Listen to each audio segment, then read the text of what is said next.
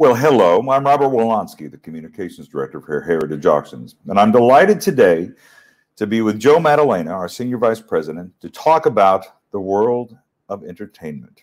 It is a, a category in which I have great passion, a great interest, because certainly who hasn't wanted to own a prop, a costume from a favorite movie or television show?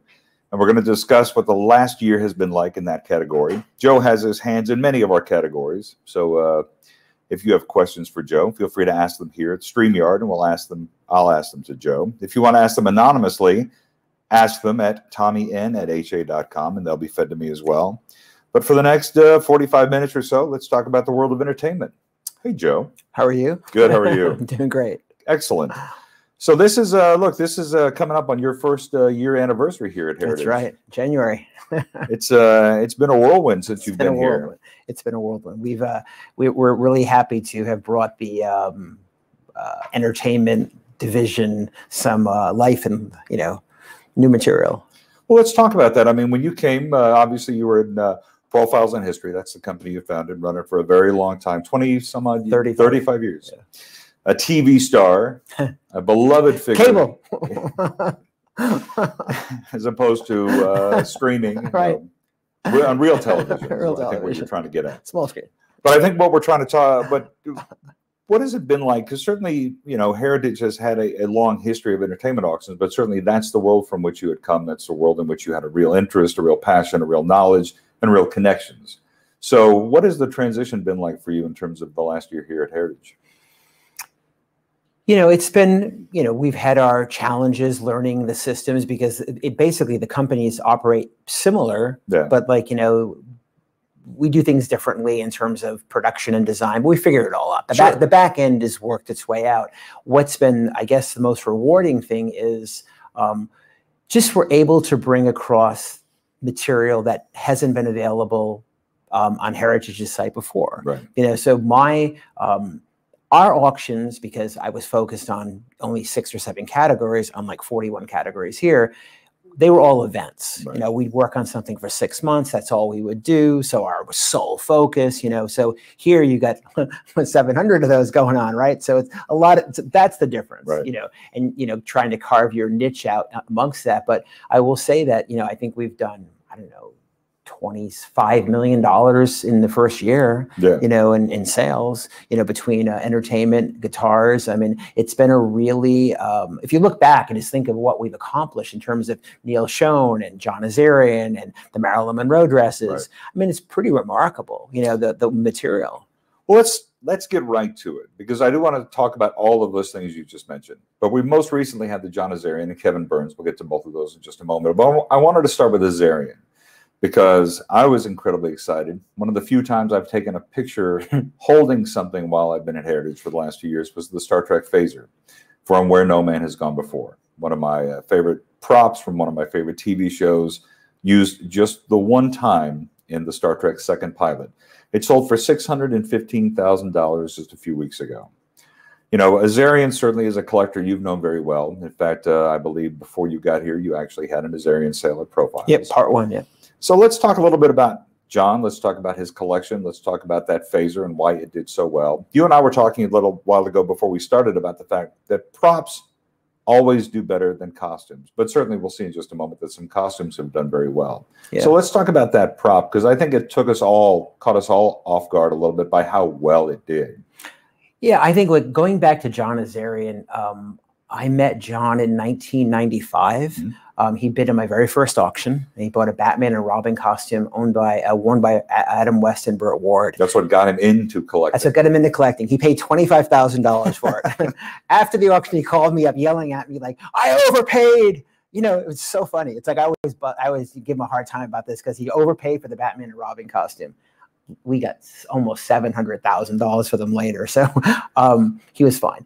But but it's good that you took care of him. yeah, yeah. But it was more about like um, the journey of a lot of these people come into your lives and you become friends. Yeah. I mean, John and Donna, and you know, growing up with his kids, and you know, I mean, uh, you know, you're talking about decades of friendship, right? So it becomes the, the the line gets a little blurred at times because you know it does become business. But again, the expectations on his part put a lot of pressure on me because I want to make sure that I've at least given him every opportunity to succeed. Right. The phaser rifle, um, God, it's got to be, it has to be one of the coolest things ever. Right. I mean, to me, it's like a Darth Vader helmet, the phaser rifle. They're up there, like of like the holy grails of that genre of collecting. And uh, we did not sell it the first time. Another auction company did, and um, I was sad. Uh, we missed it. Um, and it's one of the things we always are when we don't get something, we're sad as auctioneers. Um, but it's a thing that nobody knew existed. Nobody fact, knew existed. Before it came out to the auction the first time, everyone thought it had disappeared. I had handled Herb Solow's collection. Herb was a really good friend, um, and Matt Jefferies and um, Bob Justman, who were basically the, the, the three guys intricately involved with the creation of Star Trek with Desi Desilu in the day. Herb was the executive in production who actually bought Star Trek in and convinced Lucy and Desi to make it. Right. And uh, Herb had told me the story that it was used basically on Mission Impossible and Star Trek, and then it just disappeared. Like nobody knew. Right. Well, we now we know why it was specifically made, taken home. It was it, it, the backstory is amazing of where whence it came. Right. Yeah. So it comes back in John's collection, and obviously it is the centerpiece of his collection this time in part two. And um, you know, we're always nervous. I mean, you're talking about still something that is starting at two hundred and fifty thousand dollars, right? It's still like you're talking about a significant amount of money. Right. So you know, as auctioneers, we're always kind of like, what's going to happen? You know, it's like, and I remember sitting in the auction room and John texts me, what do you think? Right before the lot comes up. and I'm just like, you know, I'm, it's like in real time. It's kind of one of those surreal moments. It's like, we're going to find out. And then it's kind of like, it slowly starts. And Mike Sadler is, God, the best auctioneer I've ever worked with, such a great auctioneer. And he just, it's 250, 275, 300. And then, then it, you get into what the auction magic you know, there's no other, there's nothing like sitting in the room when the auctioneer is fully invested and you've got bidding. Right. It's just like it's like the ultimate rush. It's like going 200 miles an hour in a Ferrari, right? And five hundred thousand dollars when Sadler called that, it was just amazing. So I was, you know, uh, it's just one of those. That's why we do this. That's yeah. why. That's why we do these crazy jobs. You know, I'm interested. Does the every part of the story impacts its value. Certainly, the fact that it's a one-off, the fact that it is the the the thing that proved to Desilu to NBC that Star Trek could be an action series, not just an intellectual series. Given the fact that it was the, its inventor had just died a couple of weeks before the auction, same guy who directed who who created the Game of Life. There are so many different pieces to it. John's owning of it, the fact that it disappeared, what impacts it the most? Is it simply the rarity, the scarcity, the fact that this is that one off piece, or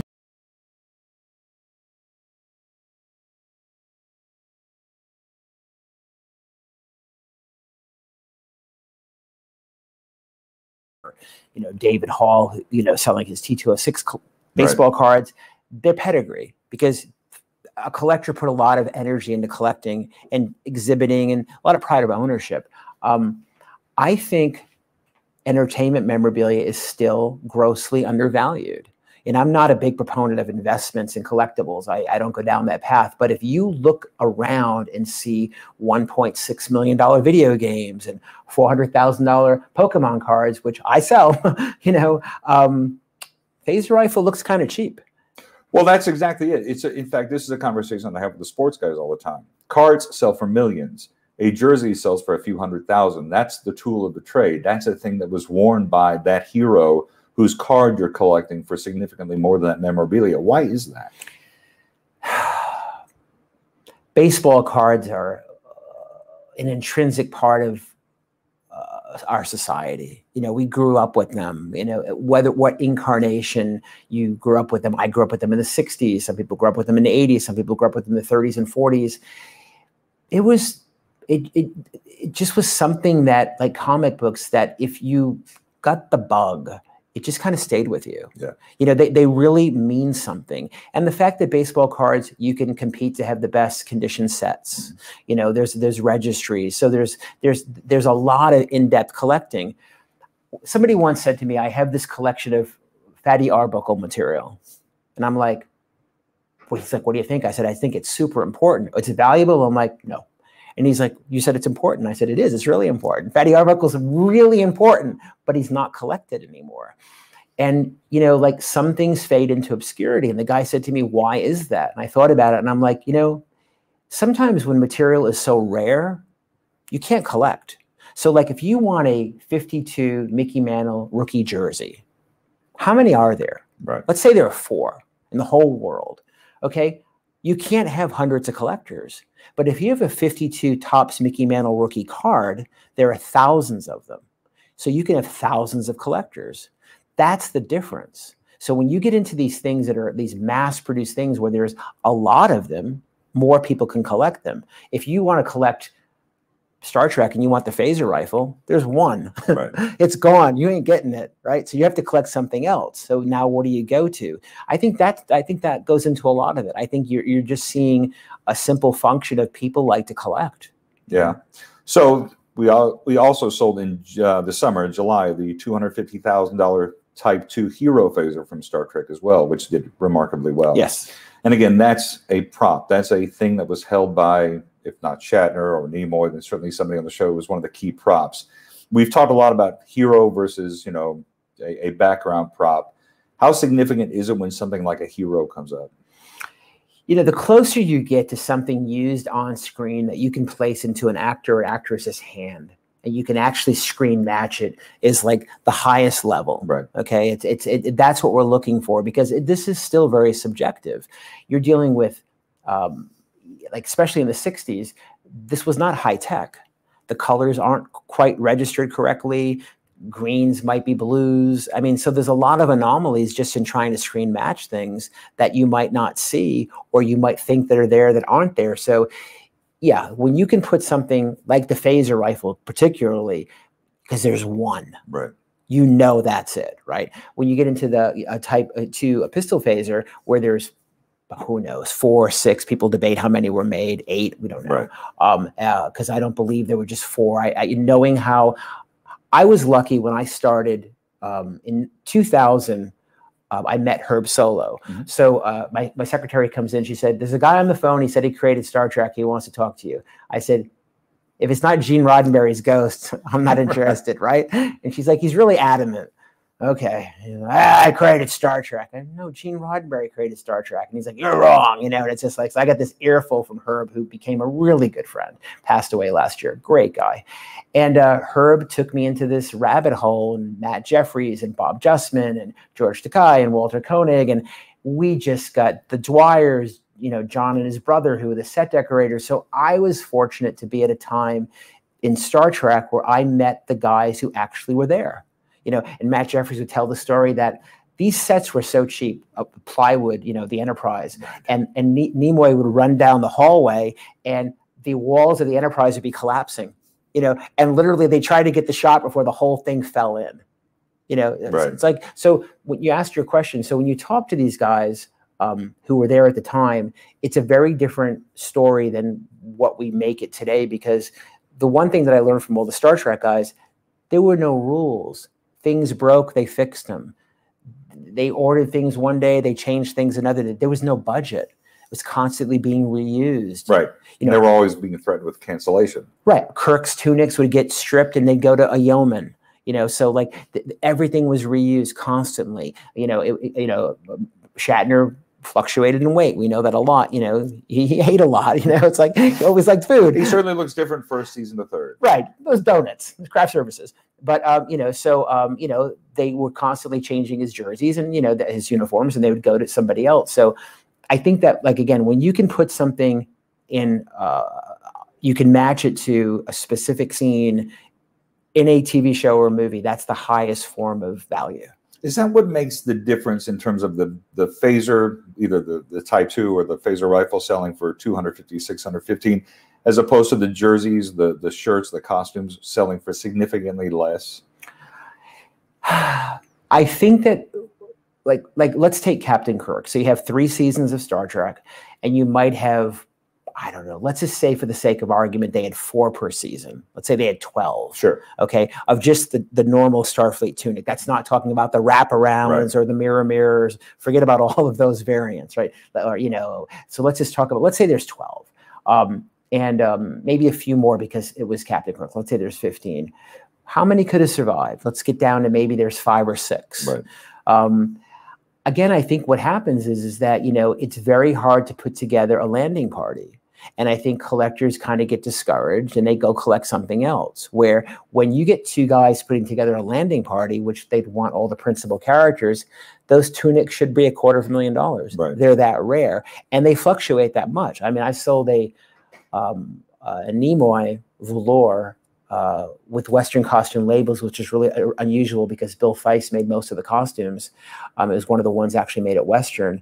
Because of the provenance, I think we got $160,000 for it. Really? Yeah. So it just shows you, but because that it had an incredible history to it, and that will also drive the value forward.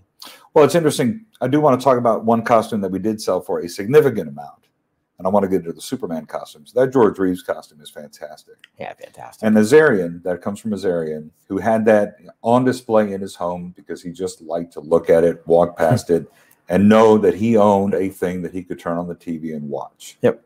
So I assume for you, that's an incredible responsibility selling something that belongs to a guy who so loved that thing, right?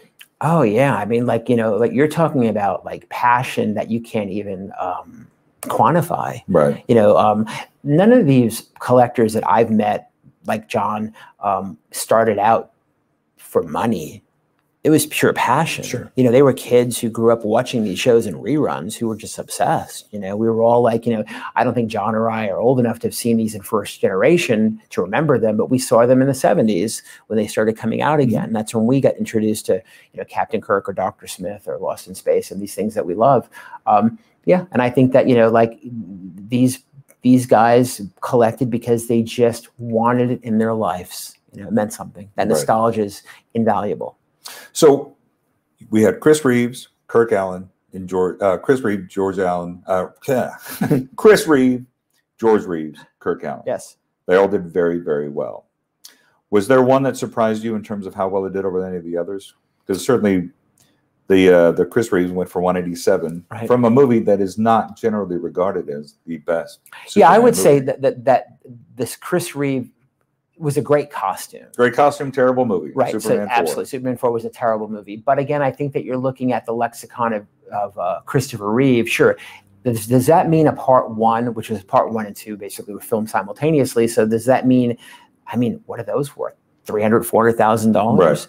It's hard to know anymore because collectibles, uh, since COVID, Mhm. have just exponentially grown in value. You know, uh, across the board. I mean, every category, and uh, we're still. W- I wrestle with this daily, like what things are worth, because I don't know anymore. So that brings me to a question I was going to ask later, but I will bring it up now. So in the last year, certainly things, last couple of years, things have increased in price exponentially, as you put it. So I'm fascinated by how do you then sort of estimate what will do well, when it will do well, when's the right time to sell, when it will, what it will sell for? Because certainly, were you worried about having three Superman costumes in the same sale? well, as an auctioneer, you're always concerned about, you know, like doing the right thing for your client, Right. you know, and making sure that, you know, enough people know about the auction. I mean, it, it, it's, it's, I tell people it's like having a wedding with two dysfunctional families getting married. you know, it's like, you know, and they each want 500 people and no one can agree on anything. And like, that's what, that's what the auction is, right? By the time you actually get this thing to, to Mike Sadler, our auctioneer's hands, right? it kind of is like appropriate, right? So I think we, uh, you know, you go through all of that machinations, and then you know, um, you kind of sit there and the magic happens. Yeah. Sometimes it doesn't, you know, and sometimes you know you, you get rewarded for your efforts, and um, but I do think that we're in um, a new world of collecting, where collecting now is mainstream. Um, it's no, it's even like the, the old days we used it was cool. It's beyond that you know it, i don't it's crossed into a new dimension of like acceptability everybody's collecting. I was Sure. at a dinner party the other night in dallas and you know i was talking to the guy who invited me and he has five les pauls. You know i was like why do you collect them? I was just shocked you know and like talking about six figure guitars.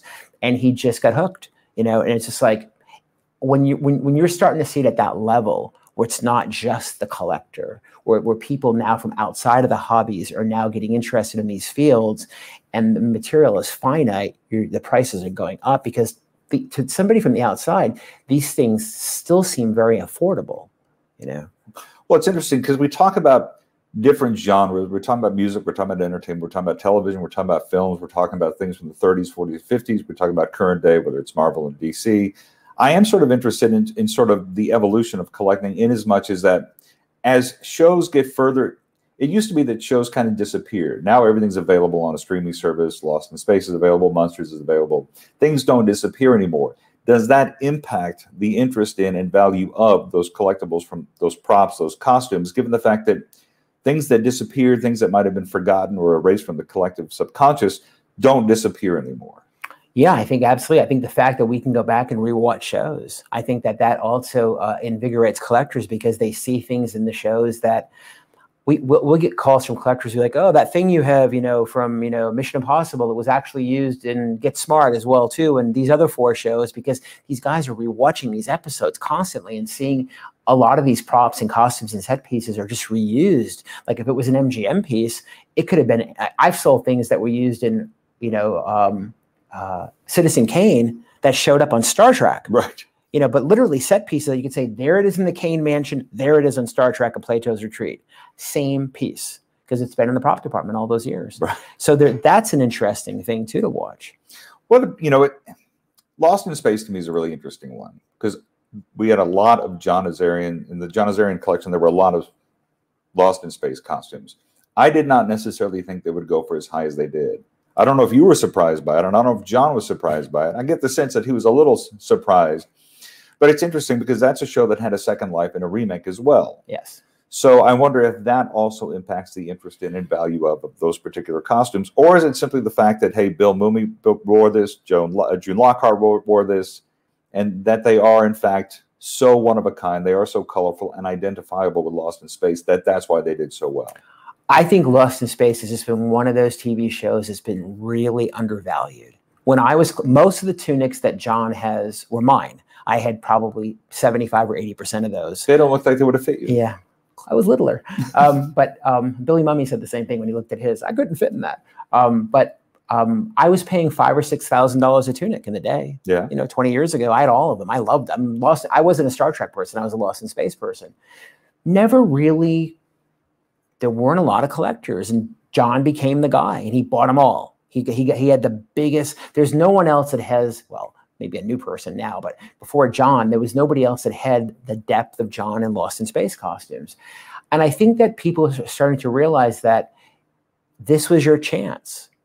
And if you if you equate like that Christopher Reeve Superman for $180,000 and a, you know, Dr. Smith for say $75,000, I don't know, the Dr. Smith still seems in, you know, relatively inexpensive. Right. Considering how cult it is. And it's just and that show just goes on and on and on. They don't go away right? Um, so i think there's a lot of that. I mean i was surprised that they sold for more than the star trek stuff. You're a lost in space guy i'm a star trek guy. I would love to own an entire bridge crew collection. That is never going to happen. But that said i thought surely somebody was out there because i know that the lost in space fans seem to be very very rabid about that particular and it, is it simply because there's only a limited amount of those as opposed to the Star Trek, which, as you said, Chekhov may wear the same thing Sulu's wearing the same day as Kirk. I mean, that these things might have been interchangeable. They were one shade as opposed to the really identifiable colors, the bright purples and yellows of the Lost in Space. Did that help make them sort of more iconic and significant? Yeah, probably for a while. I think maybe the Lost in Space people thought was a little bit not as cool you know, where the Star Trek stuff was cooler looking. Right. You know, I could see I could see that going into it, you know, because they're just a different look. You know, one is much more sleek, one is much more 60s kind of reckoning to like that time period of Lost life. in Space stuff looks like it's dates from that period. Yes. Yeah, very dated. Where Star Trek is could be any time period. Right. Um, yeah, I think I, I think that it's what exists. I mean, it always goes back to like what is out there, how much of this material exists, like what do you really know? How much, what do we really know about how many of these costumes, how many Dr. Smiths are there? Are there five, are there six, are there eight? There aren't many. So you're talking about numbers that are under 10. Right. You know, or again, you go back to the 52 mantle rookie card, even though how valuable it is, there's thousands of them. Dr. Smith tunics, six, right. eight, you know, so it's just different. While we're on the subject of costumes, I do want to talk about uh, some stuff from earlier this year. The Monroe dresses, the bus stop dress, we talk about one of a kind. We talk about the mantle jersey. We talk Yes. about a Marilyn Monroe dress. That bus stop dress did three hundred ninety nine thousand dollars, I believe. Yeah, I think so. It did incredibly well. I'm assuming that certainly doesn't surprise you. It comes from a collector who certainly had amassed one of the greatest collections of, of, of golden age Hollywood wardrobes. And, you know, it's interesting to me when that when something like that come, it's a thing I assume you still don't take for granted when you're offered something like that. Not Marilyn Monroe. Yeah. I mean, somebody the other day asked me, "So when's your next Marilyn Monroe auction?" And I said, "Maybe never." And the guy's like, "Why? Why don't you have more dresses?" I'm like, "I think it's done." Really? I mean, you know, I mean, yeah, I mean, like we know where most of them are. Sure, could there be a discovery? It's possible. Could, could one pop up here and there? But they're accounted for. We know where they went. You know, so like the, the like Gene London, whose collection we sold. Um, Gene passed away sadly, and it was an amazing collector. And these were Gene's best Marilyn dresses. If Gene were, were alive, these would have never have been sold right. you know so it's like and i told people when the these last marilyn dresses came up especially the bus stop i'm like you're never going to get one of these i mean this is and to me that costume because of the milton greene photo shoots of her in the gypsy costume it's just i don't know a more perfect representation of a movie star than seeing marilyn in that costume How much do you think Madonna's connection to that bus stop costume had anything to do with its final sale price, given the fact that she'd worn it in a Truth or Dare poster and in a Vanity Fair photo shoot as well? i would say none Really? Uh, that was the debate was I took it out of the catalog and everybody's like, you got to put it back in. And I'm like, "Mm." I mean, that's like, I didn't even want it mentioned. Really? Yeah, I just, I, I don't know. I, I don't know. I'm a purist. I just think it was like, some people should, should Madonna have actually even worn it? it's like, I don't know. You can, it's a whole, Well, I mean, it's a whole different conversation, right? Should somebody should I have held a phaser rifle? Right. Probably not. Right, right, right, William right. Shatner should have been there going whatever. Right. So it's like, you know, but when you like, I feel like there are things that are fun and there are things that you actually have to realize that you have to have some reverence for because this is Marilyn Monroe. Yeah. You know, it's like you're talking about a cultural icon of on a on a level that there is no other. Right. I mean, sure, there's Elvis and sure there's James Dean and sure there's, you know, Michael Jackson, but they're not Marilyn Monroe. You know, it's just like it's just and her and her persona just grows and grows and grows, and I, and it's remarkable to me. So when you when you get to handle things like that, you really re- sit, stop for a minute and realize that, you know what, this is really once in a lifetime. Well, there was also the the seven year itch dress was in that auction, did very very well. Um, the self portrait is a thing that I keep coming back to. It was one of my favorite things in the entire auction because that's something she drew that had been something that had been auctioned for charity. Laurence Olivier had in fact auctioned it off. I, I sort of do wonder as well when something like that comes available. You know, when that whole collection comes available, how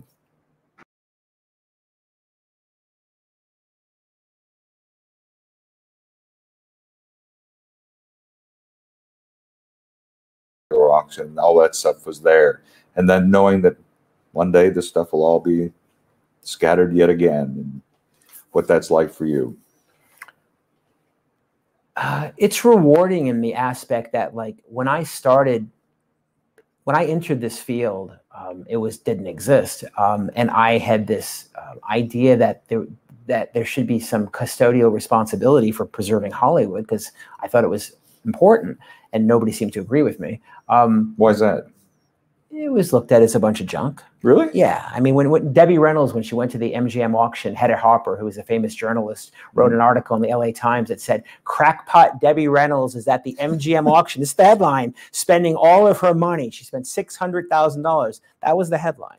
Okay, and so when you start thinking about like you had a handful of visionaries in the '70s who, maybe five or six of them, who thought enough to preserve these things and then you had the pause between the 70s and the mid 90s when Planet Hollywood came into the scene and really popularized the idea of movie memorabilia more so than more so than television and kind of spawned the field. Right, you had these moments, these 70 and 95. You had these early 90s. You had these touchstone moments, but when you kind of look at the, the like the importance of like the ruby slippers or these things, they are important because of what they represent to people. The ruby slippers represent hope right? Anybody who sees the ruby slippers is just in awe of them. because of what they represent, not because of what they are. Sure. And that's what this is all about. These are, these are our dreams, our memories. Um, and you know, and to me, it was always about like the connection from literature, from whence these amazing stories came from, and learning about that side of the the, the, story and the transition to a motion picture. You know, it's just kind of like once you get that bug, it's it's unbelievable. It is interesting, you know, standing in front of a lot of this stuff, you know, whether I was standing next to Groucho Marx's glasses or his jacket from a day at the races, these are movies I've seen a thousand times. Somebody I, I, I adore. I, I, I, someone who's whose things I want to be near, but uh, it's not because they wore them. It's not because it's about what they represented, right? It's Yeah. about the fact that they amused, entertained, and and got me through tough times. I mean, that's kind of of what people. You, yeah, that's kind of what these are about. So it's all about, it's all about nostalgia. I mean, we all have a moment in time where I remember being a little kid and The Wizard of Oz would come on television. I seem to remember it being around Thanksgiving, and it was once a year. You know, no VHS. You had one shot to watch it, right? You were glued. Nobody would talk. It was like a thing, right? You'd wait to go to the bathroom. It's like you couldn't miss it because you'd wait a year. So I think that like growing up with that, and you look back and it's like you remember these things. I remember my son was, I don't know, like 10 or something. He was really sick, had the flu, and uh, called me up and he's like, you know, I need DVDs. I'm so bored. I said, I, there's DVDs like in, in, it, you watch anything you want. So two hours later, he called me back. Goes, I just watched the greatest new show. Oh my God, it's so amazing. You have to come home and watch it. I'm like, what was it? He goes, HR Pufnstuf. So good. I'm like, I just couldn't stop laughing. It's just like, so for him, Right. it was brand new, Mhm. right? Lidsville, like he like he went down the rabbit hole that I went down, you know, with HR Pufnstuf and the Kroffts, and and and it was and to me it was like that's what this is about when you reintroduce it. When somebody sees, you know, Jimmy Stewart, It's a Wonderful Life. When somebody sees these movies for the first time, you know, and they're like, oh my god, you know, it's like, it, and I think then then you you carry that out into collecting. Somebody asks, Steve asks here in the Q and A, and by by all means, feel free to ask Joe questions. Uh, anything on Disney animation or props that you would like to comment on? Well, the Disney market has again grown significantly. I mean, animation for years was kind of dead. Um, Heritage and Jim Lentz, who's our animation expert, has really revitalized the field. Um, the Disney costumes, uh, that, so if you go back in time, um, when Eisner was running the studios, eBay had just started. So they Disney started an online store and they started selling everything out of their archives, a complete Captain Jack Sparrow costume. They were selling everything, right? Because Eisner, we got to get into this business. Then all of a sudden, a year later, they're like, "Uh oh, we're depleting the archive. Stop!" Right. you know. So there are Disney treasures that made it out into the market that are invaluable. I had the the ghosts from the haunted mansion. I had the three ghosts at one time that were you know full size, and you know again I think Disney crosses the boundaries whether it's from the theme park, which is a specific collector. Which theme we had park an auction earlier this year that's remarkably well. hugely popular. People want to ride in one, want one of the cars or one of the vehicles, or you know, like the the posters from the theme park, hugely collected. And then you have Disney animation cells. Pick your favorite movie, or now you cross over and what Disney made, whether it's Mary Poppins or Twenty Thousand Leagues or Tron, or you know, th- their their their their base of and now obviously with all this what they've acquired with Fox and Marvel, Mhm. they have everything. But if you go back to the core of what Disney was, yeah, I think Disney's another uh, uh, entity that will always increase in value, and there'll be always more and more people wanting to buy it. And we do have the animation sale starting on Friday. Yeah, amazing. A lot of sales from that. Amazing stuff. In fact, I believe we'll also have a really, really significant uh, Mickey Mouse sale coming up uh, later, ne- earlier next year. Yeah, and we have the and we have the anime sale. Right. There's anime this week, Right. 10th, and, 10th through 13th, anime and animation. And anime is another one for years was kind of like even the stepchild to animation. Now anime has gone crazy. Yeah. Because people more because again, why? The kids who watched it have grown up. They have money. They're buying their nostalgia. That's what this is about. So their lexicon with how they look at popular culture is anime. It keeps changing. Miyazaki, certainly the fact that uh, director coming out of retirement made some great films. Certainly, there's a lot of Miyazaki stuff in this auction. Brilliant. Would like be like having Kurosawa come back. You know, like you're talking about monumentally important. So, somebody asks here thoughts about the overall price trends in movie posters. You it's know, your cat. We should say you may you may not be the you you certainly know the subject. You have a lot of stuff in the auction, but certainly yeah, I've collected movie Yeah. posters for years. I'm, I'm I'm pretty well versed on Right. it. They have been pretty consistent. I would say that what I have seen in talking to Grey Yeah. Smith, who runs our movie poster division, um, the super high quality. Um, they had a um, Invasion of the Saucer Man half sheet, which is a really good poster, um, and uh, that's the, the the the one with the kind of the rays going down. Right. They had a mint one, and it sold for fifty thousand dollars. It's like a fifteen thousand dollar half sheet. When you're getting into that exceptional quality, unrestored, I think movie posters still have a long way to go because when you can get things that are unrestored, Right. that are really perfect, they're still grossly undervalued because again, restoration of movie posters is acceptable.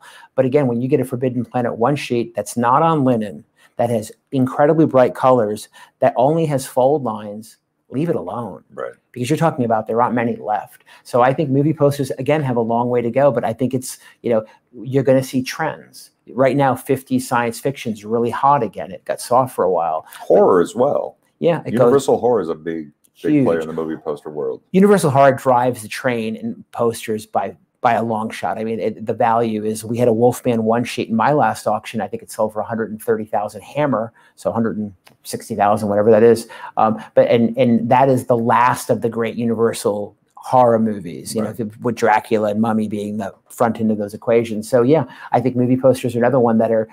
Uh, I'm buying them.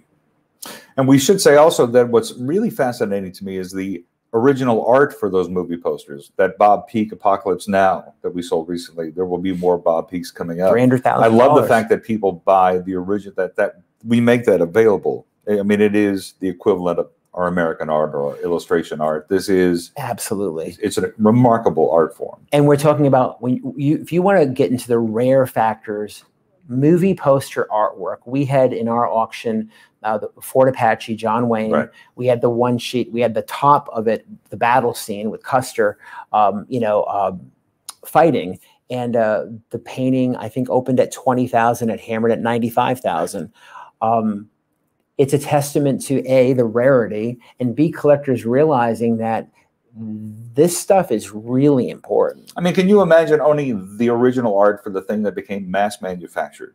Yeah. Right. That's kind of what makes it appealing, right? You own that's the one of one. millions and millions of people have your copy Right. right so it's like if you have that one sheet artwork to you know you know um, apocalypse now it wasn't the famous poster it was the european poster so that would mean that if you had the famous one the one we all know what's that worth Right. five million dollars it should be you know I mean, that's the thing. That that's the thing that, that I I think will in time become one of the more popular or coveted forms, right? It is now. I mean, Yeah. the, the growth in original artwork that became movie posters is grown tenfold You certainly see in comics. You certainly no reason not to see, expect it in movies as well. everywhere. Yeah. You know, I do want to get back to, to costumes real quick. And as much as that, you know, we talked about Monroe, we talked about Star Trek Lost in Space. We just sold that Stallone jacket. I think that's for the second time, right? Yes. It's, it's significantly more the first second time than the first time, which Yeah. Double. speaks yeah, which speaks to what? The popularity of, the the impact of the the, the last couple of years. Did that surprise you uh, how well the Stallone jacket did? The Rocky no, jacket. no, that was when I when the the, the the the guy who owned the Stallone jacket is a dear friend, a long term client of both of our companies, and uh, he had bought a lot of uh, Stallone items, and we were talking on the phone, and I said to him, I think it's a really good time to sell. Really? Wh- Why? He had never he, he he wanted to exhibit them. He never got around to doing it. So he had them and they you know he wasn't really doing much with them Okay. except he loved them. And he asked me what i thought about the market and i said you know i, I my gut tells me these are going to do really well.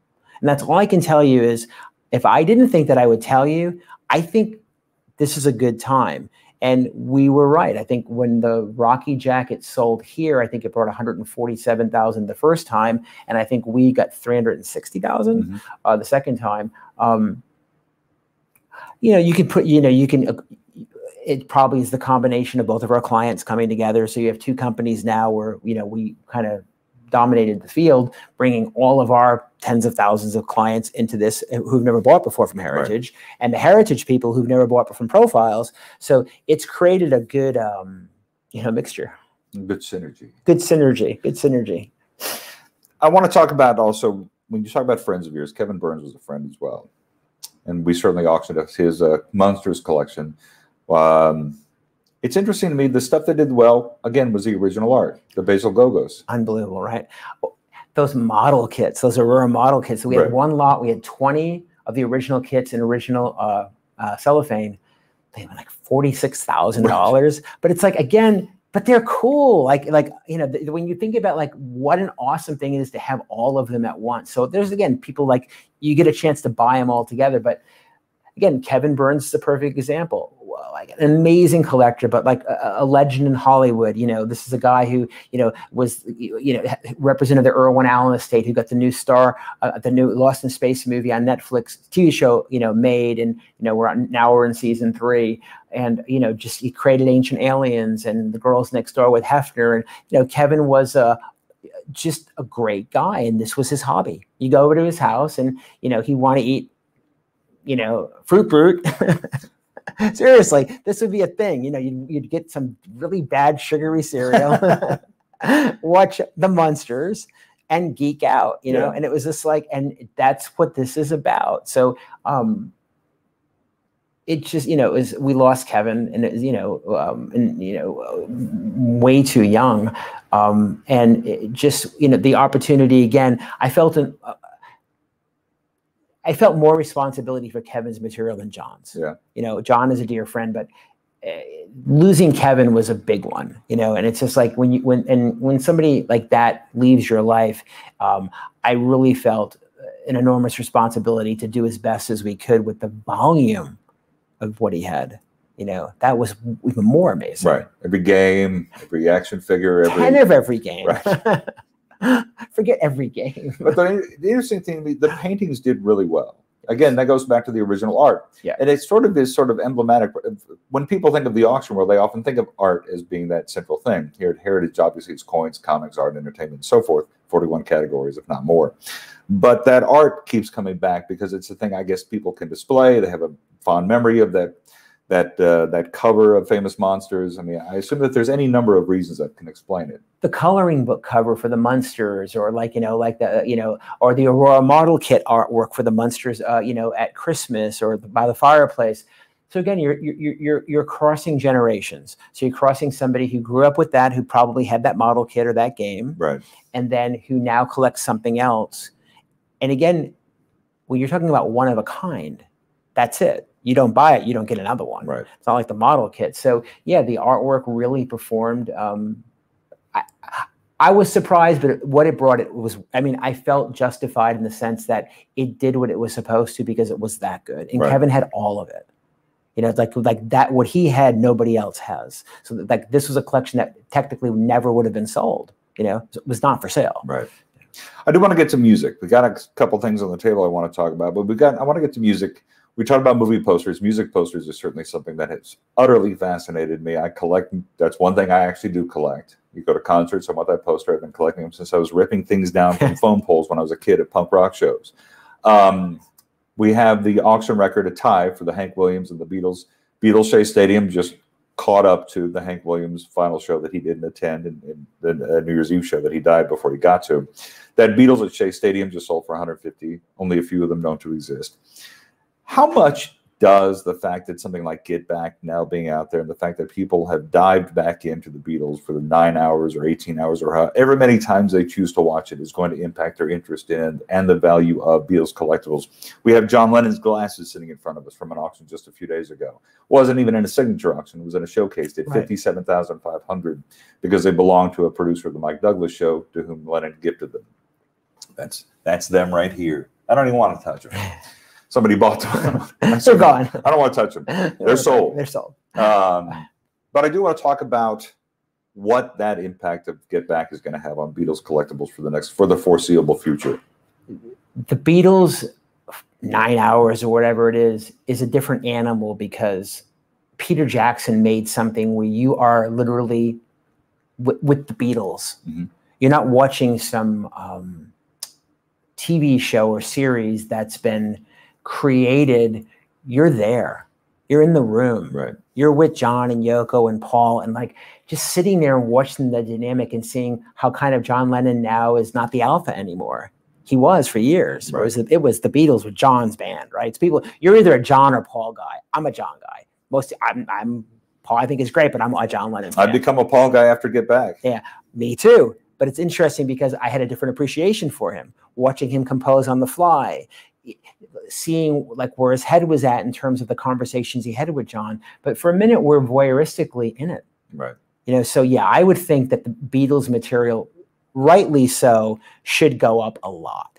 Because again, you're talking about it's the Beatles. There, there, there is no Beatles light. It's the Beatles, right? right? So I think that in, in their autographs, they're still yeah, there are lots of them, but they're still undervalued for what they are, for, for the life changing moment. When, when they go up on that rooftop and you experience that moment, you want to own something, right? It's just, it's in you. It's like, oh my God, I want something. I want a piece of that, you know? It's funny, those posters too. I mean, the, there's only a handful of those. We keep talking about one, two, three, four, five of a thing and and things tend to reveal themselves after an auction, right? So there's a one one poster sells for 150. People like, oh wait, I think I have one of those hanging in the dining room. We're getting into the Shea Stadium poster. a perfect one. It'll be the best one we ever sold. Really? It'll it's it'll, it's it'll probably the highest grade. So we'll sell that next year. But that's the auction and the combination of brings material out. Right. People have them that are just like, hmm, maybe it's time. Two hundred thousand dollars for a poster is life changing. Absolutely. Yeah. Especially if it's been hanging in the dining room, you completely forgot about it. Absolutely. You can go out and buy a replica for a couple bucks. Unlike, say, the Michael Jackson shoes sitting just behind us, those those stage warns you can't uh, get anywhere else. No, there that it's done. You know, I want to talk about while we're on the subject.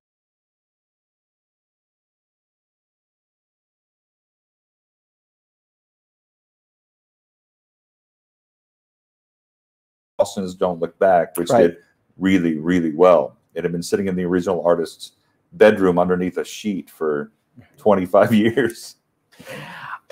I think album art is probably the next area that's going to explode.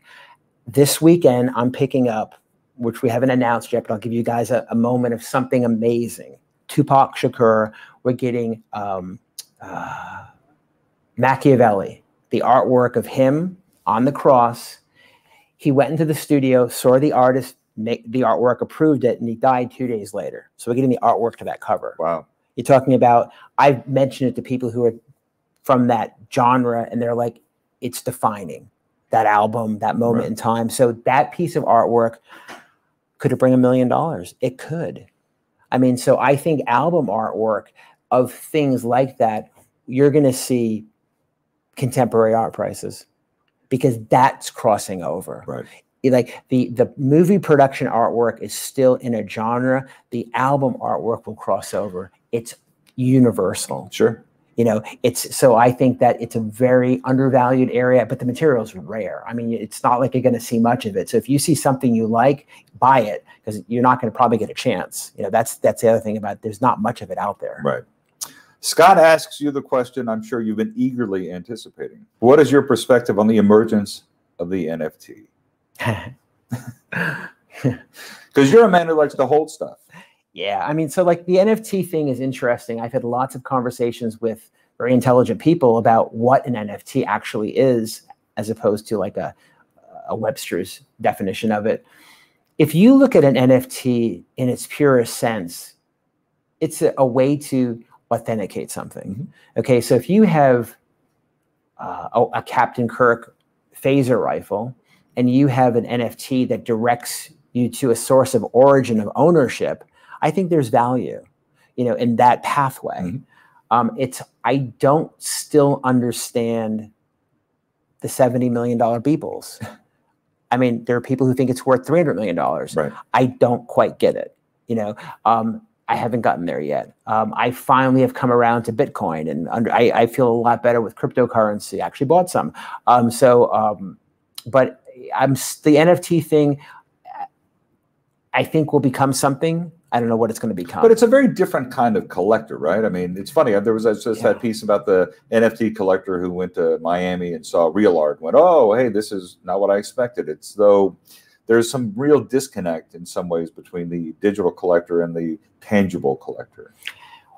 we're it's what is it, Joe Walsh, analog man, digital. What's the what's the song? Right, right. Right. It's like that's Robert. We're the, we're we're, that we're there. Right. It's like you know we're the analog guys. It's like you know you know. So they left us in the dust. Um, uh, I own a few Top Shots. That's about as far as I go.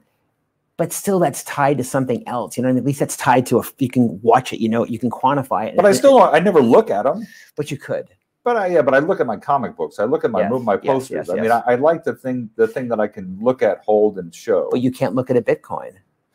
I don't own any Bitcoin. It's, you it- do. it's You're- code and it's code in a little. Uh, it's you're buying invisible code and an invisible wallet. Right. That's right. It's either the ga- greatest gimmick in the world, spirits in the material world. right? It, it's spirits in the material world. So, um, I still don't have a an opinion yet on NFTs. I would say uh, proceed with caution. Um, don't bet the farm on them, and um, you know we're all going to learn on that one. Right. Brad asks, where are uh, where are you seeing the greatest loss of momentum?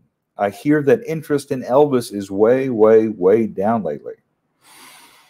You know, I would agree with you, Brad. I mean, I would first of all, I would westerns, war movies have kind of faded away. Uh, even the great comedians, W.C. Fields, Arbuckle, even Chaplin to some extent, um, Jean Harlow, Veronica Lake. I Is mean, that because they're what, what? To what do you ascribe that? I mean, we talked a moment ago about the fact that everything is available to stream, but certainly there are things.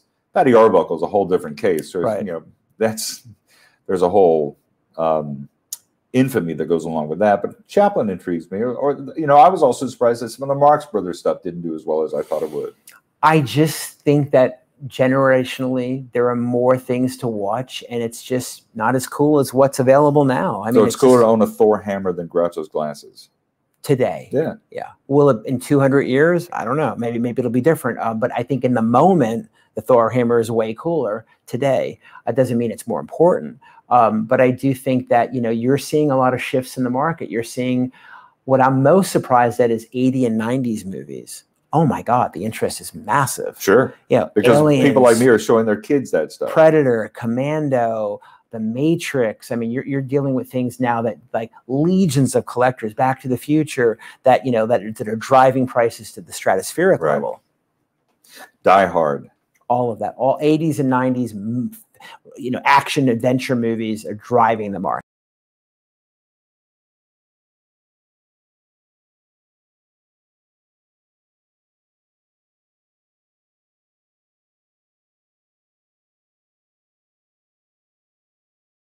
Here so people can look. Ah, there we go. John wants to know what is your opinion on original art for Magic the Gathering cards? You know, um, one of the departments here at Heritage that I oversee is trading card games. Uh, so it's actually something that I have quite a bit of interest in. Um, you know, I think it's still, again, very undervalued. I think any of the artwork from Magic, Yu Gi Oh!, Pokemon, where you can buy something that is from the alpha set or a beta set of Magic, where you have one of those key card artwork, um, I think is grossly undervalued. I mean, I, I think, again, if something had the ability to grow exponentially, it's those because millions of people play the games. Millions of people play Magic. Millions of people play Yu-Gi-Oh. Millions of people play Pokemon. So if you had the original alpha uh, artwork for the Black Lotus, God, it'd bring a million bucks Right. now. So so you know, I think that I would.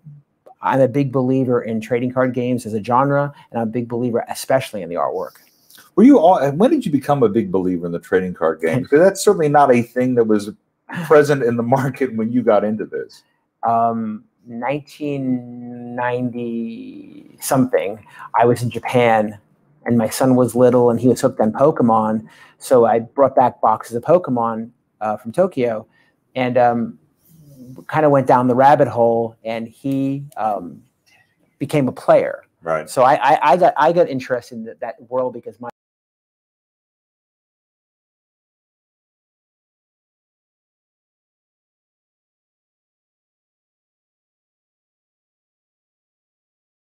just learned it through attrition almost, and Yeah. um, you know, and now have seen the massive popularity.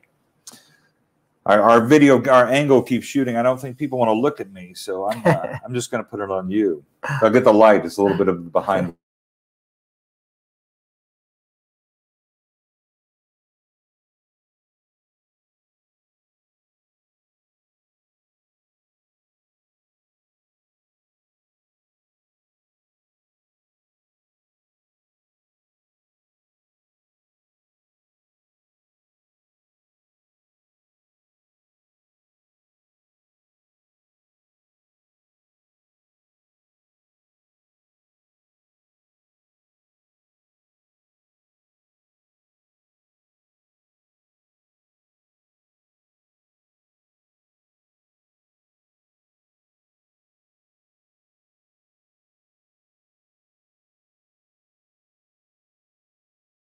uh, there we go. All right.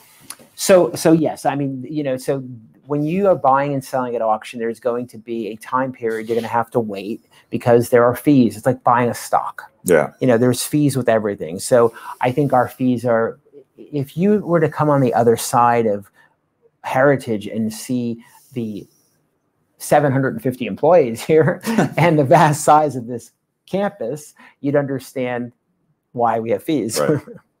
Before we wrap up, I think we would be remiss if we didn't talk about the Neal Schon auction and the Elton John piano, because certainly musical instruments have been a big part of Heritage's history. Sure. In the last year, we've had two of our biggest, the Neal Schon, uh, and there's going to be more to come in the coming year. yes. So, talk to me about the the Elton John piano. We can we can say that the the Elton John piano and the Neal Schon "Don't Stop Believing" guitar were both bought by Jim Irsay. He made that very public. He's putting together a, a collection for a museum one day. But certainly to see that Elton John Steinway go for nine hundred and fifteen thousand dollars must have been incredibly rewarding. Was it surprising? No, because if you think of like what the piano was, uh, so The one he toured with for decades. decades and, and, and like impeccable provenance, a letter from Steinway talking about when they manufactured it, when it was delivered to him, letters from the piano tech, and it was used at Live Aid, and Freddie Mercury played it, and Paul McCartney played Right. it, and he used it at Dodger Stadium, Elton John. I mean, this was the piano. It'd be like having, you know, you know, Paul's famous, you know, bass. Right. You know, like it's it's it's the you know, it's uh, uh, Elton John, uh, Eric Clapton's Black Beauty. I mean, it's the one, right? Right. So yeah, and this it, again, it's a it's a it's a giant piano. It's a huge concert grand. It's big. He signed it. I think it's 14 feet long. It's huge. Right. Um, so yeah, and again, it, it- it's a testament to Mr. Elton John's career, his popularity. So I always uh, you know equate that where the good guys win. so I was happy to see that. Um, Neal Schon, um, that was an interesting one because I remember calling up Robert one day and I'm like, Neal called me at 11 o'clock last night, and Robert said to me, "This was the 1970s, and you were a girl, Right. and Neal called you at 11 o'clock." Well, you were my next door neighbor, Greg, who we, I texted Neal and I said, um, I'm, I showed him something that Greg had collected of Neal's. And I said, send a picture of it to Neal. And Greg was like, You just texted Neal Schon? Right, I'm right. like, Yes. So I had it took me a moment to pause and be like, yeah, it's like it's surreal because you you get to know these people in a different way. Right. You know, you become friends. You know, and it's just like you get to see like uh, their life. Right. You know, and it was like we went to uh, Northern California, went to Neal's um, facility, and he had a thousand guitars. A thousand guitars. That's a lot. I mean, you, you can't even, but you, room after room. But I mean, when you see the sheer volume, it's hard to fathom. And he knew every single guitar, Yeah, he knew but had- how they've been changed, how they've been altered, how they sounded. where he Yeah. played it, who gave. Oh, can't sell. No, no, that was a gift from Right. somebody in '83. That was a deal. You know, no, I can never sell that one. And it was just like, how do you know this? right. I mean, but every and then the coolest part though for me was being in his facility, and then we we picked out like 50 guitars. And Neal gave me a hard time because he wasn't able to tune them, so he had to play them out of tune. He'll forever give me grief because he played out of tune guitars, but he did really well. And he would sit there and just plug them in, and he'd, be, and he'd be like, "This is really good, man." And he'd be like, "Yeah, this," and then, "Yeah, this doesn't sound that good." And it was just like watching that. Right. I was like, "That was the greatest concert I've ever been to." I, people, What's the greatest concert? Me and Ne- Gary and Aaron watching Neal Schon, plugging in guitars and just riffing and talking about like how the guitar felt, and Right. you could see the twinkle in his eye. You know, it was like that was cool. Well, we have reached an hour. It doesn't feel like it. I do appreciate everybody who stuck around and asked some very good questions. You have an auction coming up to begin the year. The consignment deadline is when? Auction's February 22nd. So uh, early February January. 21st? Yeah, February 21st, you know. Depends when marketing wants the catalog. Um, it's going to be Star Trek, Yeah. uh, mostly uh, TOS, original series. Uh, we have uh, almost a complete landing party. Uh, great Kirk. Uh, we have the Kirk and Spock from Mirror Mirror. I think we have a Sulu from Mirror Mirror, but we have a, all the characters uh, in depth, uh, pants, and then we have some surprises from some of the later uh, Star Trek uh, uh, movies and TV shows. But again, as good as Azarian was for Lost in Space, this collection is equally as good for Star Trek. The quality of these tunics is extraordinary. I'm very excited to uh, look at them. Halloween. There you go. Thanks everybody who watched. Uh, Joe, if they have questions, want to get a hold of you, want to consign something, what's the best way for them to do that? Uh, you can call it jm at ha.com or my extension is 1511. Um, we're easy to find. And, you know, whatever field it is we can help you with, even if we have to direct you to a different department or something, just let us know what you have. Excellent. Thanks, everybody. Appreciate you watching. Joe, thanks for doing this. Sure. Thanks.